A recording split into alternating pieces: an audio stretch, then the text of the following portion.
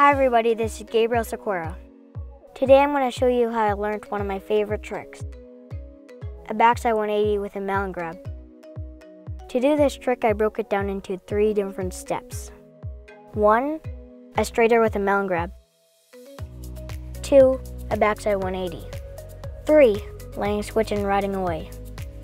After watching the snowboard addiction tutorials, I practiced these three steps on the trampoline with my tramp board.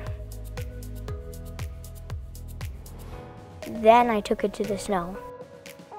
I could already do the straight air with the melon grab, so I focused on the pop to make it look better.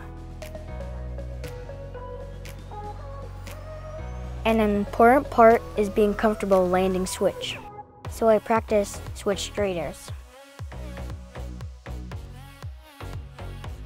The key tip with the backside 180 was the blind landing, where you have to look up at the knuckle. This helps you to stop the rotation.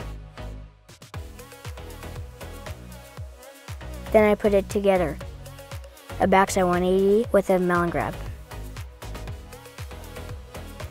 The melon grab makes the 180 more stylish.